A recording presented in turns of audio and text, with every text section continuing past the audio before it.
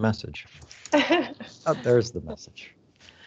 Good afternoon and good morning, and welcome to yet another edition of Data Talks. Once again, transatlantic in nature, uh, with three of us hosting here in the Netherlands, and our honored guest uh, coming from uh, York University, which is in Canada, in Ontario. Uh, it's uh, Anna, Anna Artushnia. I hope I pronounced that. You can uh, re-say your last name in case I haven't said it correctly. Um, uh, I'd like to welcome everybody today. We're here uh, to have a, a, short half an hour discussion, perhaps 35 minutes if we decide that there are more interesting things to say, to, uh, to talk about data governance in uh, smart cities. Uh, this is one of the reasons why we have uh, Gianfranco from our side, who is has been responsible for a lot of the work at Capgemini and Invent in terms of open data, shared data, data spaces. He is a data guru here, and he will be bringing his insights into the discussion as well. And of course, Ray is one of our uh, former hosts of Data Talks who has kindly passed the reins on to me. So uh, let me briefly introduce Anna, and then what we're going to do today is rather than get right into the discussion, Anna's going to take the floor for five to seven, uh, what I like to call Dutch minutes, and Dutch minutes are very precise uh, meaning that she'll have a short opportunity to sort of give us an introduction to what she'd like to talk about, and then three of us will uh, ask questions and generate discussion. So now Anna is a research fellow in data governance at the City Institute at York University. She has an upcoming book coming, which explores a range of policy, civic, and technological initiatives that are designed to facilitate responsible data governance in smart cities, both in North America and in Europe. And she draws on rentiership theory to analyze the changing role of the state in the digital economy and the governance challenges brought on by the adoption of biometric technologies, AI, and data trusts. Anna has uh, spoken with the BBC on the MIT Technology Review. She's uh, conducted interviews with the Toronto Star, which is uh, one of the big newspapers in Ontario. Um, and she is happy to join us today so that she can add this to her resume. So with that, I will pass on the floor to Anna. Mm-hmm. Uh, you'll you should have the ability to share your screen because I'm aware you have a, a few slides there, so we can we can try that out, and and then I'll let you speak. Okay, thank you, thank sure. you for for the wonderful introduction, David. So good morning, everyone. And today I will be talking about the public value of data and smart cities and possibly sustainable data economy. So I'll talk for about seven minutes and I'm very excited for, for the discussion. So from, from a historical perspective, it's only recently that data has been recognized as a commercial asset and as a public asset. Uh, and in terms of legislation, there's been a tremendous shift from the orally protective data policies in the public sector to the concept of data as commons in November, uh, my colleague Alina Wernick and I published an article called The Post Pandemic Smart Cities, where we reflect on the new European and US policies that expect cities to procure more technology and automate more public services. Well, traditional critique raised against the smart city and the smart city partnership specifically is that technology companies often lure the financially depleted municipalities into then profitable partnerships, into the bad deals and the technology in this project remains black boxed. The services often exchange for the personal data, and that overall the smart city initiatives are top down and technocratic. So, what I've seen in my own research is that city administrators often lack the capacity to properly evaluate the project or sustain it without a private investor. And under the new policies, that gives cities financial resources and political momentum to invest in the digital technology, there is a chance to redefine the data as a public asset or as a commons, if you like. In the article, we offered several recommendations to downscale smart city projects, procure locally, maintain public data service and fiber networks, make procurement of the technology by law enforcement specifically more transparent, and regulate data reuse. And I would say that among these requirements, are robust regulations that will make sure the data does not leak or it's not being sold to the highest bidder are key, key to success. And um, it's it's good to understand what has changed over the last decades because in the 1960s, when nations began introducing their first privacy and data protection legislation, the regulators were primarily concerned about the state surveillance In these early days of the data economy, data was considered a byproduct and not a commercial asset.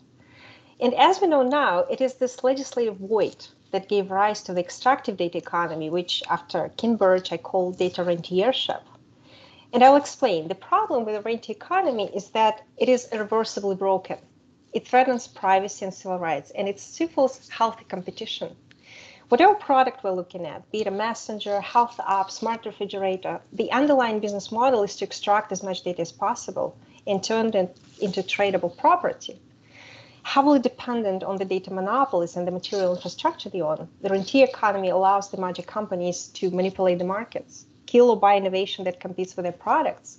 And as we all know, it wouldn't allow us to shop around for better services. Now, let's remember the rentier economy flourished as a result of the private data governance that was and has been to date largely unregulated, while the actors in the public sector were not allowed to use the data they collected. But this disparity was soon overcome by the convergence of the private and state surveillance. And as, as we show in the, in the paper, this is the problem we've been dealing in North America a lot lately, where with law enforcement agencies procuring uh, digital tracking apps, facial recognition apps, without any public oversight and very few legal protections in place. And um, I'm heading towards the end here. When it comes to smart cities, the trend is even more alarming. Across the EU and the US, the city infrastructure retrofitted with digital technology has been used in police investigations. Now, imagine municipalities do as we suggest. They procure locally and use this technology responsibly. What do we do about the fact that rentier economy has become inextricably linked with the concept of surveillance capitalism? as per Shoshana Zuboff. How do we make sure the algorithms serve the public good? I would say I depart here from Zuboff's argument that the entire data economy is malicious. Instead, I build on uh, on the critique of Zuboff's book, put out by Cory Doctorow, Julie Cohen, Frank Pasquale, and other brilliant scholars who, who argue that technology monopolies and the fact that they own the physical infrastructure of the internet are much bigger threats than the perceived mind control exercised by the likes of Google. And I would like to conclude with a little of provocation and with some praise of the European data initiatives. In my view, and based on my own research, creating a digital public infrastructure, limiting data reuse without a legitimate purpose, and create a, a level playing field for the companies working with data would be especially important if we strive to build responsible data economy. Here we can think of the GDPR, European Data Governance Act, and the Public Services Act. And in North America, they've been immensely proud, praised for, for the intentions to do just that, you know, to legitimize and normalize data sharing while prohibiting the extractive data practices. I would say that Gaia X initiatives and the very idea that we should decouple personal data from technology monopolies is the move in the right direction. And um, one question that you know been raised has been raised a lot in these discussions: Wouldn't we stiff innovation with too much regulation? Well, we know now that sustainable data economy will need troughs of data, just like the rentier economy does. And this is going to be a matter of education for the next decade users need to feel safe when sharing their data. And I would say that data spaces, data licensing, prohibiting the harmful, the harmful use of AI systems, this is what we can do to make people feel safe when they, you know, try to create things or just survive in the digital economy. And uh, once again, in here in North America, we've, we've been looking to Europe, you know, for for for the regulated innovation. So I would like to conclude here. Thank you. Wonderful, thank you. I would ask uh, uh, Gianfranco, Ray, you can turn your cameras back on. Um, you can stop spotlighting so that all four of us can be spotlighted here. Um, maybe uh, I'll jump in first, and then, like I said, uh, Gianfranco, Ray, just jump in, comments, questions, whatever you like. Um, but I was struck by something that you said near the end, where you kind of mentioned harmful use and you know data sets are being collected as a part of smart cities. Mm-hmm. Um, obviously, we know there's one example. There's a Canadian example outside uh, somewhere in Toronto, I believe, in terms of a smart city, and some controversy with Google mm-hmm. in terms of the amount of data that was being collected, and concerns not per se for how that data was going to be used in the smart city itself, but how that data might be used in other purposes as well. Mm-hmm. That sort of you collect the data for one purpose and it gets used for another purpose, which with GDPR would would be illegal. So anyway, sorry that a long introduction, but what I am curious about is from a regulatory perspective, is the goal to say, look, we need to, like from a GDPR sense, we need to collect uh, the amount of data that we need and not anything more? Mm-hmm. And that our focus is on what kind of data is being collected, and that's where the regulatory focus is? Or are we looking at a regulatory focus that is banning certain uses of data? Mm-hmm. To say, okay, it's being collected, that's fine that it's being collected but don't use it for X, Y, and Z, and it's more of a prescriptive way of looking at things? Or am I completely in a wrong direction and we have to think about anonymization of data, et cetera? So maybe let me just throw that out. Let you comment. Oh, thank you. Those are wonderful questions. So um, um, I, I, will I will start with the example. So I think um, Sidewalk, Sidewalk Labs and Sidewalk Toronto in Canada, uh, it's it's an excellent example of why we need to be very careful when we uh, when we're dealing with the companies and why the companies cannot be trusted, never. um, and um, recently, I mean, oh, just just to explain, there are there've been some excellent research on uh, on uh, Sidewalk Lab Smart City and why it had failed and in my own work, I showed that the key problem here was that they were invited to fill in the role of a policymaker. It sounds surprising, but that's exactly what was happening, and it's actually it happens a lot. You know, in, in across North America, most of the smart city project has been happening here. It is when uh, the city has a problem, or you know, it lacks financial resources to fix certain infrastructure, or I don't know, provide uh, poor neighborhoods with the internet connection. And the company comes in and says, okay, we're going to do it for free, but in exchange, we want access to data. And they never been very specific as to what exactly they require during this partnership. And the city, you know, having urban planners and excellent people who understand everything about the public services, they don't really understand what the deal is and the data is being given away for free. And with Sidewalk Labs, this was um, even more interesting because because of the scale of the project and because of how much power the company has required from the city and why it has collapsed at the end is because there was much resistance not uh, only from the citizens who were concerned about surveillance obviously but also from uh, from the public officials who were frankly terrified because uh, sidewalk labs demanded um, the ownership of data and where they, they couldn't gain the ownership they wanted the data to be licensed to them and from all the partners participated in this project they were you know they were requiring contracts saying that the data will be controlled by alphabet and this is this is one problem. Another problem that they were sole sourcing the project, and this is what I've been talking about in my in my own talk. Uh, you know, we often overestimate the um, the abilities of companies to control us. So when we think about digital surveillance, we think, oh, they're going to surveil us, they're going to use it to change our behavior. That's not exactly how it works. And you know, all of you, anyone who will be listening to this, uh, we've seen those terrible targeted ads, right? You, you buy a mattress and you've been followed by, by these ads for, for the rest of your life. This is how bad the mind control stuff is. The, what, what really happens is that you know they need access to the data to maybe reuse it for something else, to maybe sell it to the data broker. And we need to be concerned about the policy making that happens at the side of the company. We need to be concerned about the access to the government facilities. We need to be concerned about um, the ownership of physical and digital infrastructure. It's more about the monopolies than the digital control and surveillance.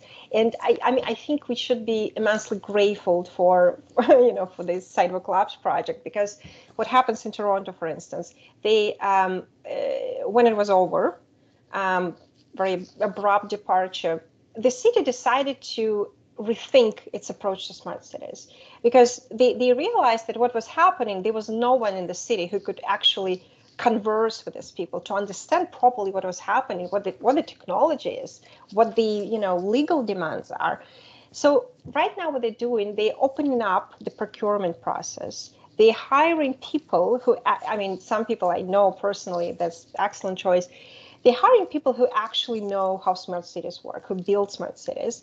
So you know, having this internal capacity, investing not only um, in the humans who can negotiate with the companies, but also in the digital infrastructure and physical infrastructure servers. You know, where possible, we want to keep data in our servers. Where possible, we want to use our networks. Where possible, we want to uh, have a technology we can sustain without you. Because another problem, I'm, I'm going to finish now, sorry, I've been talking too long, but uh, another problem that was highlighted by Labs project is that when they exited everyone was you know frustrated but what what would have happened if they build a system? What what do we do right? They started a project they didn't complete it. You know something came up a pandemic financial trouble and they just bail out right? And the city the citizens we all were left with nothing with you know with a service that the, the government cannot sustain. So this is what they're trying to do. They're trying to you know create technology and procure technology that would be open source or you know in a way in any way they will be they should be able to we should be able to maintain them right without a company. So i would say that those are three main lessons we've learned from this project. And uh, once again to reiterate what i've what i've said um, the company should not be trusted. And we've seen this a lot with facebook with google right one reason why the very concept of privacy has been compromised, why people don't really understand what privacy means anymore, is that every time a breach happens or a scandal happens, the company puts out a new privacy statement saying, "Oh, guys, we fixed everything." It's not true. Someone, you know, in I think in uh, Bloomberg wrote an article and they counted how many times Zuckerberg, you know, brought apologies to the to his audience, and yeah, sorry. Maybe I, I, I hope I answered your question. uh, Anna, I, I wanted to follow up to that. Oh. Sorry. Okay, I'll let Ray go first, and then Gianfranco, you second, and then and then I'll jump in too. Everybody will jump. Go ahead, Ray. Yeah. Um, in your intro, I heard you say um, that AI technologies have uh, need to serve the public good. Um, but I wonder where do you draw the line between good and bad? Because I mean, it can get very vague and it becomes very like in a gray area. So I wonder, like, how do you how do you see that? Well, I think it's a good question, and I think with uh, when it comes to AI, we will need to learn a lot. And um, uh, so I was. Um, I, uh, I, was participating um, in a conference this week where um, um, my colleagues were discussing the ex ante regulation, the regulation that comes first, right, when we're trying to anticipate the bad outcomes. And um, so far, AI in this nascent stage, right, we don't really know what to use it for, and basically the companies and the public services are experimenting with it. So uh, one one use which I think hasn't been harmful is when uh, AI is used to uh, moderate the content on the internet. It's been moderately successful, even though uh, Facebook still uses. I don't know why I'm using Facebook again, but uh, they're still using uh, human moderators. But um, AI has been very good uh, at taking down porn and violent content. So I, I would say when we experiment with these technologies, we will learn more about how to use them. Um, I, for one, was trying to find um, an example of a good use, uh, like a good public AI case, and I couldn't. Uh, so, what I've what I found, plenty of research on how AI have been experimented with in, in the social services. For instance, there's an um, um, excellent book uh, from Virginia Eubanks called um, um, Automating Inequality. And in this book, she, re- she reviewed three case studies from the United States uh, where the, um, state social services hired a company to build AI system to help them disburse scarce finance funds, right? And what happened is that very, very quickly the algorithm learned to discriminate against single mothers, against people, uh, against people with criminal background, against people who had, you know, previous violations, and um, so what? The use of this system was discontinued because it was showed, you know, very uh, vividly that those systems they're very good at cutting costs but not, they're not very good at helping people. And when it comes to social services, we want them to serve. This is not about making money or saving money. This is about helping people in need, right? And apparently, AI is very bad at it. So I would say uh, we will need to see how it works, and I'm waiting for for the research from my British colleagues because I know that uh, the UK has been experimenting with with visa approvals, automated visa approvals, they use an AI to screen through the applications, which is terrifying. Personally, I find it terrifying, and I, am very curious as to how it goes. Uh, but I mean, we cannot draw conclusions before you know someone studies it closely. But it is very alarming because, from what we've learned, one problem with the algorithms, they're not that smart. We're very, we're grossly overestimating their abilities. So what, what happens with them uh, is they use historical data, you know, to work on the data sets they given. And it almost never works to the benefit of the public or anyone really, except, you know, to save costs. So we will see. That's my answer. Thank you, Ray. Franco, jump in. Yeah, uh, first of all, Anna, thank you. I wanted to high five you for having made uh, Cory Doctorow one of my personal idol, uh, um, um, activist and, and uh, sci-fi writer for the ones of you who don't know. Um, and uh, I could recognize in, in, your, in your little uh, statement a few of the recurring topics that from from his, like the the mind control um, uh, delusion, let's say. There's another point he always makes that I'm curious to hear your opinion on, and what uh, your and in what way your experience perhaps confirmed that or not. That is, what we often see as the problem with the big tech giants in reality is an antitrust problem.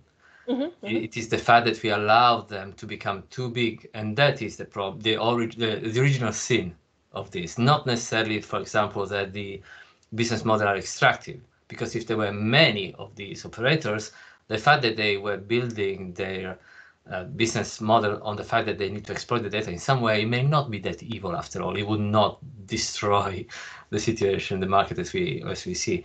What, what's your opinion of that? And, have you seen, uh, say, options to break those monopolies? What's the attitude, perhaps, in in uh, in Canada uh, from that point of view?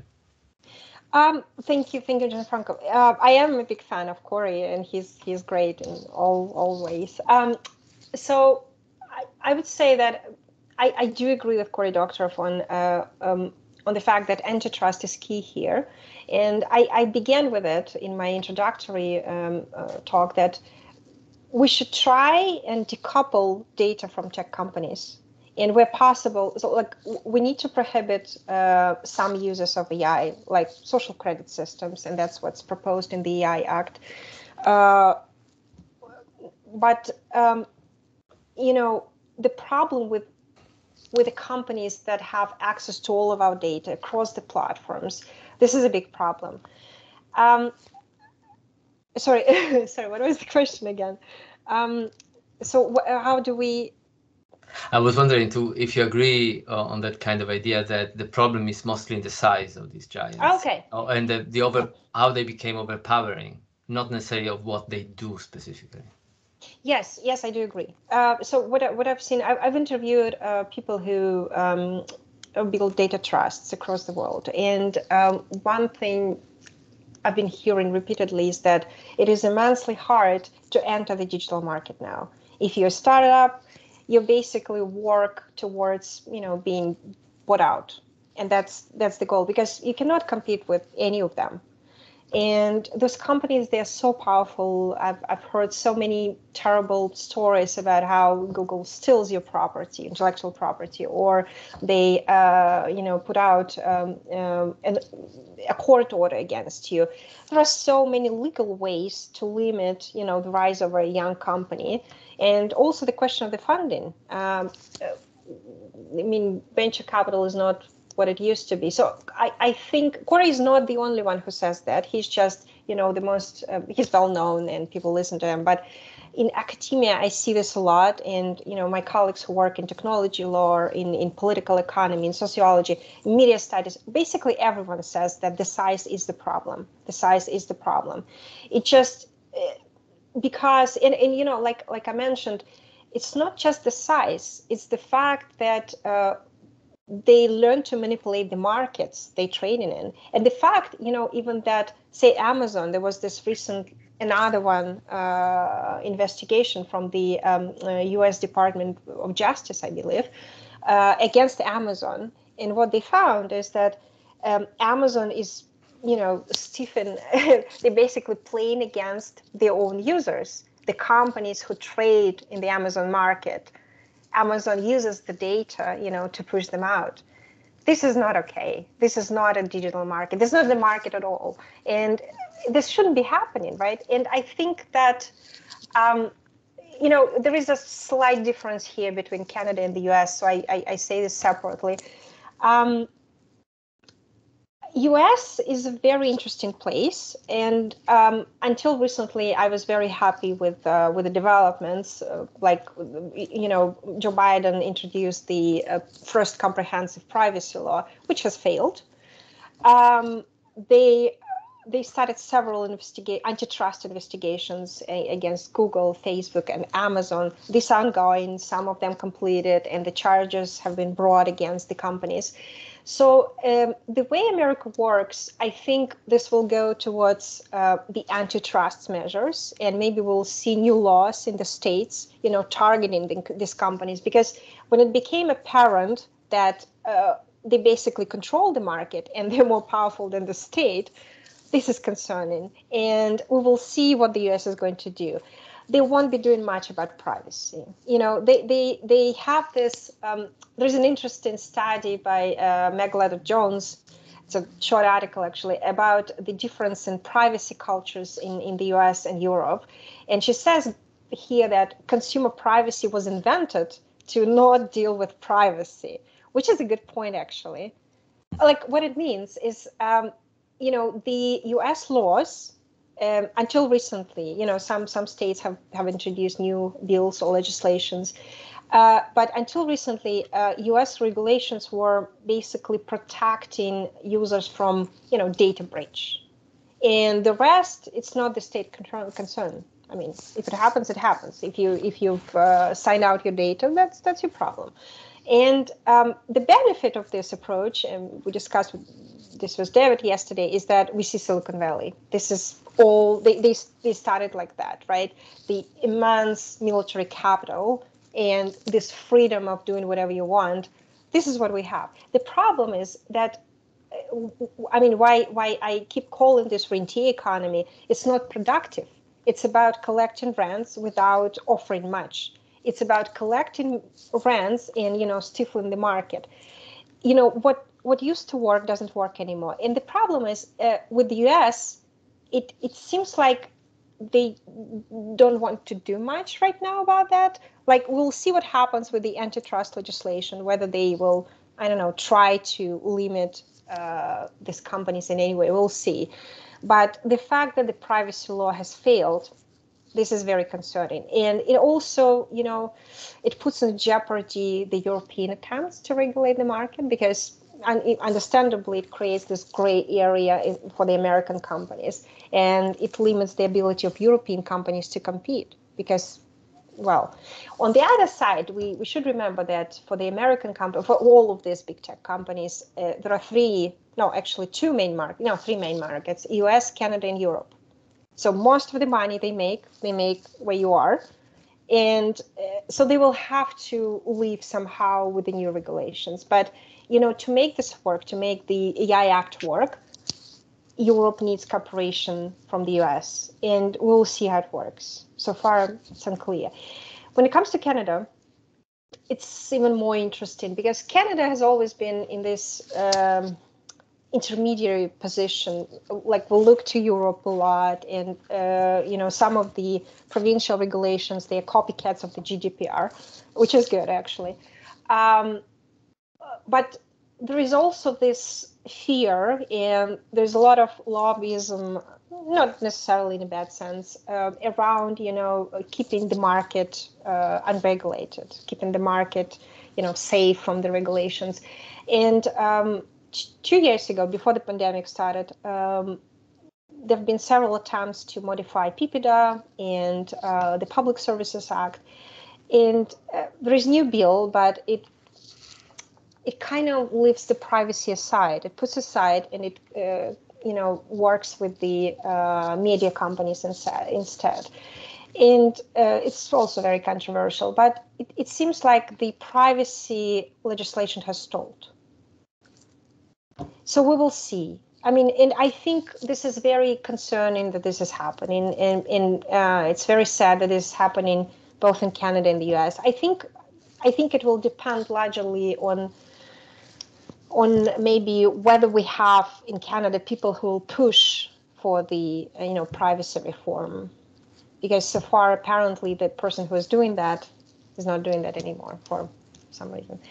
So um, we'll see.